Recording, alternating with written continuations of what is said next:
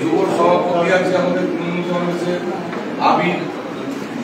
সেখানে স্বপনদা আছে স্বপন ঘোষ আঠারো নম্বরের কাউন্সিলর বেঙ্গল চেয়ারম্যান কাউন্সিল ভাই সমবার্থী আছে আর এক্স চেয়ারম্যান কাউন্সিল হেলথ আমার আছে।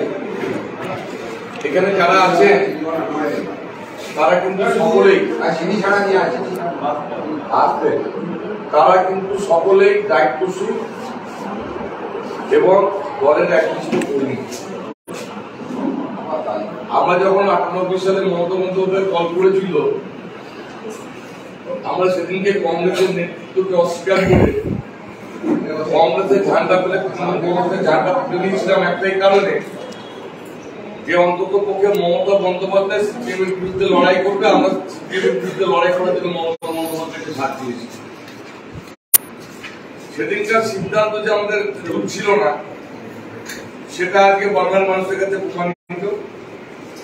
যে মমতা বন্দ্যোপাধ্যায় তৃণমূল কংগ্রেস প্রতিষ্ঠিত করার পর লাগাতার বিভিন্ন রকম আন্দোলনের মধ্য দিয়ে, সংগ্রামের মধ্য দিয়ে নিজের জীবনকে বাজি রেখে কখনো সিন্ধু আন্দোলন, কখনো আপনার চমকাই কলার আন্দোলন, কখনো আপনার ভাঙড়ের আন্দোলন যেখানে সিপিএমের অত্যাচার হয়েছে, সেই অত্যাচারকে প্রতিরোধ করার জন্য ইতিহাস কর্মী হিসেবে আপনাদের সকলের জানা এবং পরবর্তী সময় কিন্তু মমতা বন্দ্যোপাধ্যায়কে বাংলার মানুষ মেনে নিয়েছে। আমরা যেমন আটানব্বই সালে আমাদের নেত্রী হিসেবে মেনে নিয়েছিলাম, বাংলার মানুষও কিন্তু সিপিএম অত্যাচারের প্রতিবাদে মমতা বন্দ্যোপাধ্যায়কে মেনে নিয়ে এত বিপুল সংখ্যক মেজরিটি দিয়ে তাকে মুখ্যমন্ত্রী করেছেন বাংলায়। মমতা বন্দ্যোপাধ্যায় মানুষের কাছে আজ পর্যন্ত যা প্রতিশ্রুতি দিয়েছে, একটা প্রতিশ্রুতি এখনও পর্যন্ত ফলো আপ হয়নি। মানুষ তার সুফল পায়নি। বাংলার কোনো মানুষ বলতে পারবে না। আজকে যদি সাগর থেকে পাহাড় ধরা হয়, পাহাড় থেকে জঙ্গল জঙ্গলমহলে যান প্রতিটা জায়গায় সরকারি ভাবে প্রত্যেকটা মানুষের দৌড় গড়ায় কোনো না কোনো সরকারি পরিষেবা মমতা বন্দ্যোপাধ্যায় পৌঁছে দিয়েছে। মমতা বন্দ্যোপাধ্যায় বিশ্বাস রাখেন যে দুয়ারে সরকারের কর্মসূচি খুব বাস্তবায়িত হয়েছে। মানুষের অত্যন্ত গ্রহণযোগ্য একটা কর্মসূচি হয়েছে। মানুষ সেই ক্যাম্পে গিয়ে কাতারে কাতারে ভিড় করেছে। বহু মানুষ অসুস্থ হয়েছে আমরা দেখেছি তাই মমতা বন্দ্যোপাধ্যায় ভেবে দেখেছেন যে এই মানুষগুলিকে যতটা সংখ্যক কমিয়ে তাদের পরিষেবাটা পৌঁছে দেওয়া যায়, আপনারা জানবেন যে পাঁচটা, সাতটা ওয়ার্ড নিয়ে এক একটা জায়গায় এই দুয়ারে সরকারের কর্মসূচি চলত। আগামী দিনটা মমতা বন্দ্যোপাধ্যায় এক একটা ওয়ার্ডে বলেছে পাঁচটা করে দুয়ারে সরকারের ক্যাম্প হবে। অর্থাৎ ওয়ার্ডের মানুষ ওয়ার্ডে সেই আবেদনটা করতে পারবে। কাউকে চারুশিলা স্কুলে যেতে হবে না বা কাউকে বনমাল স্কুলে যেতে হবে না। এটা নিজে নিজের জায়গায় করতে পারবে। এখনও পর্যন্ত আমাদের কাছে যেটুকু খবর প্রায় মোটামুটি প্রায় ধরুন পঁচাত্তর থেকে আশি ভাগ মানুষ সরকারিভাবে প্রত্যেকটা সহযোগিতা কিছু তারা পেয়ে গেছে। বাদ বাকি যেটা আছে সেটা কিন্তু এই যে কর্মসূচি আপনাদের সামনে আমরা আজকে করলাম। এই কর্মসূচির মধ্য দিয়ে মমতা বন্দ্যোপাধ্যায় চাইছেন যে বাকি অংশের যে মানুষগুলো, তাদের কাছেও কিন্তু পরিষেবা পৌঁছে দিতে হবে এবং এটাকে সেন্ট পার্সেন্ট করতে হবে। এটা যে গভর্নমেন্টের এবং দলনেত্রী হিসেবে মমতা বন্দ্যোপাধ্যায়ের এটা টার্গেট এখন এই টার্গেটটা যদি ফুলফিল করতে হয়, কারা করবে? আপনাকে আমাকে করতে হবে, কারণ আমরা নিচের লেভেলে কাজটা করি। আজকে এই কর্মসূচি শেষ হবার আগের মুহূর্তে অভিষেক বন্দ্যোপাধ্যায়ের অফিস থেকে ফোন এলো যে অবিলম্বে ওয়ার্ডের বুথ ভিত্তিক চারজন করে ডেলিগেটেড ক্যাডারের নাম, তার বুথ নাম্বার এবং তার কন্ট্যাক্ট নাম্বার আমাকে আটচল্লিশ ঘণ্টার মধ্যে দিতে হবে দল কিন্তু আর সেই জায়গায় নেই। দল কিন্তু একটা অনেক উপরের জায়গায় পৌঁছে গেছে। কারণ আপনারা জানেন এই ভারতীয় জনতা পার্টি যখন ক্ষমতায় আসে দুহাজার নয় সালে, তখন কিন্তু কর্পোরেট সিস্টেম এবং প্রযুক্তিকে ব্যবহার করে কিন্তু সারা ভারতবর্ষে ক্ষমতায় এসেছিল। তাই আমরাও মনে করি যে আজকের এই প্রযুক্তিকে যদি আমরা কাজে লাগাতে পারি, সারা পশ্চিমবাংলায় মমতা বন্দ্যোপাধ্যায় যতদিন থাকবে, কোন রাজনৈতিক দলের হিম্মত হবে না যে বাংলায় এসে ফুটিয়ে মমতা বন্দ্যোপাধ্যায়কে হারিয়ে তৃণমূলকে হারিয়ে তারা এখানে সরকার গঠন সেই জায়গাটা তৈরি করার জন্য আমি আপনাদের কাছে বড় অনুরোধ করব শহরের সভাপতি হিসেবে, জেলা সভাপতি আপনাদেরকে বলে যদি মনে হয় যে আপনার সংগঠন ভালো লাগছে না, অন্য কোনো জায়গায় গেলে হয়তো আপনি ভালো থাকতে পারবেন। হয়তো অক্সিজেন, অনেক অগ্রন্ত অক্সিজেন পেতে পারবেন দরকার হলে সেখানে যাবেন কিন্তু দলে থাকতে গেলে দলের নীতি মেনে চলতে হবে এখানে কোন রকম কোনো কথা এইভাবে শোনা যাবে তুষার সভাপতি হয়েছে। সীমা এখানে মহিলা সভানেত্রী হয়েছে। যুব সভাপতি কোথায়? আচ্ছা যুব সভাপতি আছে। বঙ্গজননী সভাপতি হয়তো কিছুদিনের মধ্যেই পেয়ে যাবে। তাহলে সাংগঠনিক ভাবে মমতা বন্দ্যোপাধ্যায় সংগঠনকে শক্তিশালী করার জন্য সাংগঠনিক ভাবে দেখুন প্রত্যেকে সম্মান দিচ্ছে। আজকে হয়তো পিন্টু মাহাতো চেয়ারম্যান হয়েছে শান্তনু দত্ত চেয়ারম্যান হয়েছে কিন্তু শান্তনু দত্তর ওয়ার্ডেও একজন মাদারের সভাপতি একজন যুব সভাপতি একজন মহিলা সভাপতি একজন বঙ্গজননী সভাপতি এটা কিন্তু করছে। এটা মানে কর্মীদেরকেও কিন্তু সেই সম্মানটা দেওয়া। তোমার এটা স্বীকৃতি। আজকে আমি প্রেসিডেন্ট আছি কালকে নাও থাকতে পারে। আমার জায়গায় অন্য কেউ আসতে পারে। কিন্তু তার মানে এই নয় যে আমি দল ভালোবাসি, আমি প্রেসিডেন্সির থেকে সরে গেছি মানে দল করব না, আমি মুখ ঘুরিয়ে থাকব, এটা বলতে পারব। আচ্ছা আমি দলকে ভালোবাসি আমি পদকে ভালোবাসি। যারা পদকে ভালোবাসে, তারা সরে যাবে। যারা দলকে ভালোবাসে, তারা কিছু সরবে না।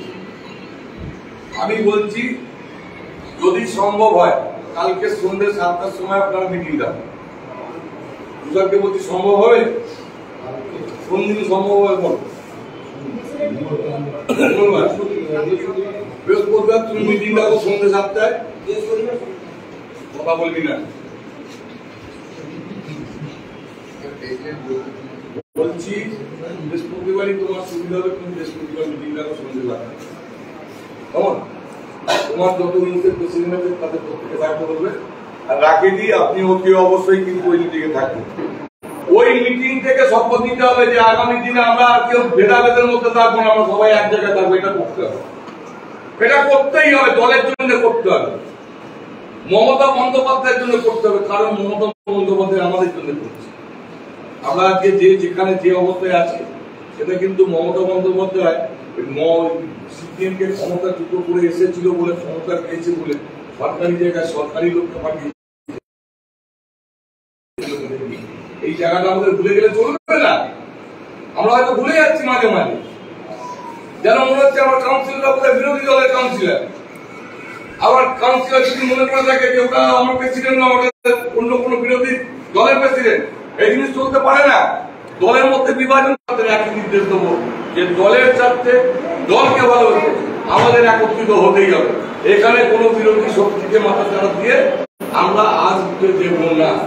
তাতে রাজনৈতিক ভাবে কিন্তু রাজনৈতিক মোকাবেলা করতে গেলে ডিভাইডেড রুল যদি পলিসি আপনারা চালান আজকে আপনার আগামী দিনে অস্তিত্ব থাকবে না। আমি ভাবলাম রাখির অস্তিত্ব শেষ করে দিয়েছি। কালকে আমিও কিন্তু আমার অস্তিত্ব শেষ হয়ে যাবে। কারণ আমার ক্ষমতাটা আমি কিন্তু অপব্যবহার করে ফেললাম।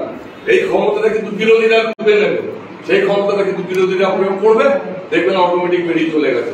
তার প্রমাণ হচ্ছে সাগর জ্বলন্ত প্রমাণ, ওটা থেকে শিক্ষা নিন। ওটা থেকে শিক্ষা নিতে হবে। এবং আমি আপনাদের কাছে আবারও বলছি, শুধু দলের স্বার্থে মুখের দিকে তাকিয়ে আমরা সবাই ঐক্যবদ্ধ ভাবে লড়াই করব। এই সিদ্ধান্তটা বৃহস্পতিবার নিতে হবে, সন্ধ্যে সাতটার সময় মিটিং যাব। কোথায় ডাকলে সুবিধা হবে সেটা করব। রাখিদি আপনি তুষার, আপনার যারা মুন্সিপাল প্রেসিডেন্টে কালকে বসে ঠিক করে নেবেন কখন বসবেন ঠিক করবেন কোথায় বসবেন ঠিক করবেন।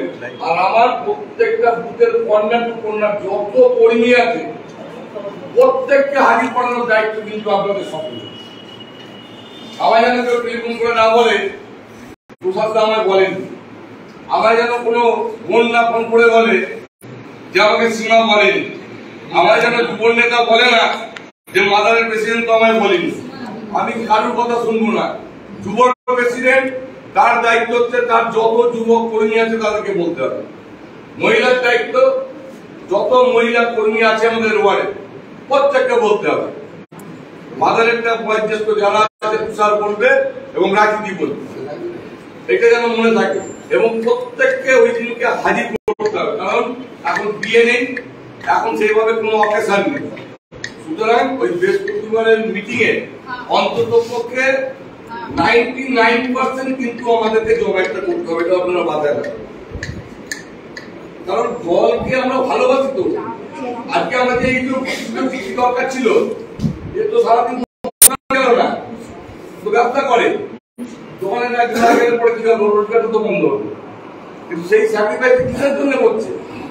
দলের জন্য, ভালোবাসার জন্য করছে। তাই তো? তাহলে সেটাই যদি আমার উদ্দেশ্য হয় কি আমার পায়ের তখন থেকে মাটিটা সরে যাবে? আমি জানি ষোলো নম্বরের কমিউনিস্ট দাম। আমি নিজেই জানি। কারণ আমি আকবর আলী বন্ধুকরের সঙ্গে আমি এবং পিন্টুল মাহাতো আমরা যারা আছি এখানে, আমরা খুব ছোট থেকে দলটা করি সেই সূত্রে জানি কোন ওয়ার্ডে কোথায় দাপট ছিল। এখন তো কিছুই নেই। সব জড়ো হয়েছে ভাবছেন শেষ হয়ে গেছে। না, ঘুরে আসুক না কামব্যাক করুক। ইঞ্চিতে ইঞ্চিতে বদলা নেবে। কেউ কিন্তু বাদ যাবেন না। আপনি ভাবছেন যে তুষার মারা খাবে, আমার কি দায় আছে? তুষার যেমন মাঠটা খাবে আজকে যদি রাত্রে খায় তাহলে সকালে আপনি খাবেন। পরশু সকালবেলা প্রলোক খাবে। এটা হতেই থাকে। এটা হচ্ছে সিপিএম পার্টি। মাথায় দেখে চলুন। এবং বিজেপি আমাদের ঘাড়ে নিঃশ্বাস ফেলে। এরা প্রয়োজনে সব এক জায়গায় রয়েছে। সিপিএম, কংগ্রেস, বিজেপি সব থেকে আর কোনো আলাদা জাত নেই। আলাদা কোনো নেই সব রকম এক জায়গায় সম্প্রতি মিটিং মিছিল করে তো দেখছেন যে বিজেপির মিটিং এ সিপিএম এর ঝান্ডা সিপিএম কংগ্রেস এক হয়েই গেছে। এখন বিজেপিও কিন্তু এদের সঙ্গে পাল্লা দিয়ে জোয়ারে ভেসে যাচ্ছে, কারণ তাদের কোনো অস্তিত্ব নেই, ওরা বুঝে গেছে। দু হাজার একুশের নির্বাচনে ওরা বুঝে গেছে যে পশ্চিমবাংলায় বিজেপি কোনোদিনই যত ক্ষমতাই প্রয়োগ করুক আর যত টাকা, যত অর্থই এখানে ফেলে দিই বাংলার মানুষকে কিনে বিজেপি করা এটা গেছে তাই আমি আপনাদের কাছে আবারও সেই পড়াজোর অনুরোধ করছি, শুধু একটাই, যে দলের সাথে দলকে যদি ভালোবাসি, নেত্রীকে যদি ভালোবাসি, তাই নেত্রী সম্মান উঁচু রাখতে, দলের ঝান্ডা উঁচু রাখতে ব্যক্তিগত ভাবে আমি কেউ বড় নয়। মনে রাখতে হবে, আমার দল যদি বড় হয়, তাহলে আমিও বড়। এই কথাটা মাথায় রেখে আমাদেরকে বৃহস্পতিবার বসতে হবে। তো? যারা ষোলো নম্বরে আছেন?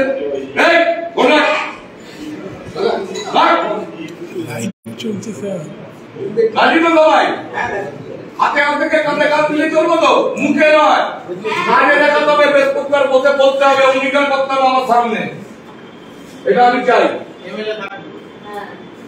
দল এমএলএ থাকবে যুব প্রেসিডেন্ট থাকবে মহিলা থাকবে থাকবে, আর আমি তো নিজেও থাকব চেয়ারম্যানও থাকবে। এমএলএ যদি অ্যাভেলেবেল থাকে এমএলএও থাকবে। আমি ঐক্য চাই, আমি কোনো ফাটল চাই না। সেখানে যদি আমাদের মেরামতি করার জন্য কোনো খাজানা দিতে তাতে আমরা রাজি আর ওই বৃহস্পতিবারই নেবেন যে আগামী দিনে আপনারা কিছু কর্মসূচি নিচ্ছেন। একটা কর্মসূচি নেবেন সবাই মিলে ঐক্যবদ্ধ চেহারা দিয়ে একটা বিরোধীদের কাছে দৃষ্টান্ত স্থাপন করে দেবেন যে আমরা কেউ আলাদা নয়। ওরা মনে করে কোর্ট যতই কর, আমরা কিন্তু সবাই এক। এবং এই একতাটাই দেখানোর জন্য কিন্তু একটা ভালো প্রোগ্রাম নিতে হবে। এটা মাথায় রেখে চলুন। সকলকে আমি শুভেচ্ছা, অভিনন্দন, ভালোবাসা জানাই। যদি কোনো জায়গায় কোনো কিছু আঘাত করে দেয় কেউ অজান্তে, তাহলে ভাই নিজ কোনো ক্ষমা করে দেবে। কারণ আমি দলের জন্য বলেছি, আমার ব্যক্তিগত কারোর প্রতি কোনো রকম কোনো ক্ষোভ বা অভিমান বা নেই, কিন্তু দলের বিরুদ্ধে যদি কিছু হয়ে যায়, সেখানে কিন্তু রাগ বা অভিমান ক্ষোভ হতে পারে। তাই আমি সেই জায়গাটা থেকে আমি তোমাদের কাছে তাহলে ক্ষমা চেয়ে। এই কথা বলে আমি আমার বক্তব্য শেষ করলাম। জয় হিন্দ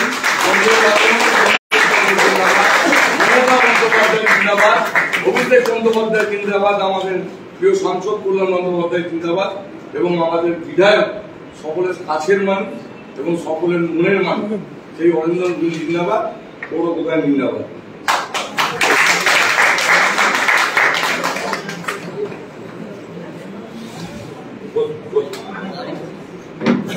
ঠিক আছে ঠিক আছে ঠিক আছে। কিন্তু বৃহস্পতিবার থাকতে হবে। এবং প্রথম সারিতে বসতে হবে দেখতে চাই এই হয়ে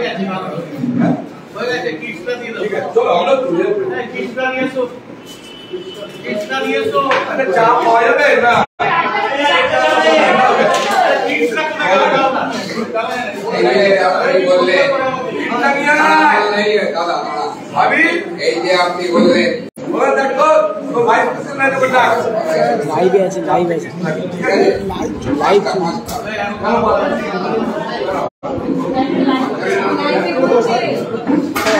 এখানে আবার। বললে বললে কিডস দেবে কিডস দেবে নমিতা মাহাতো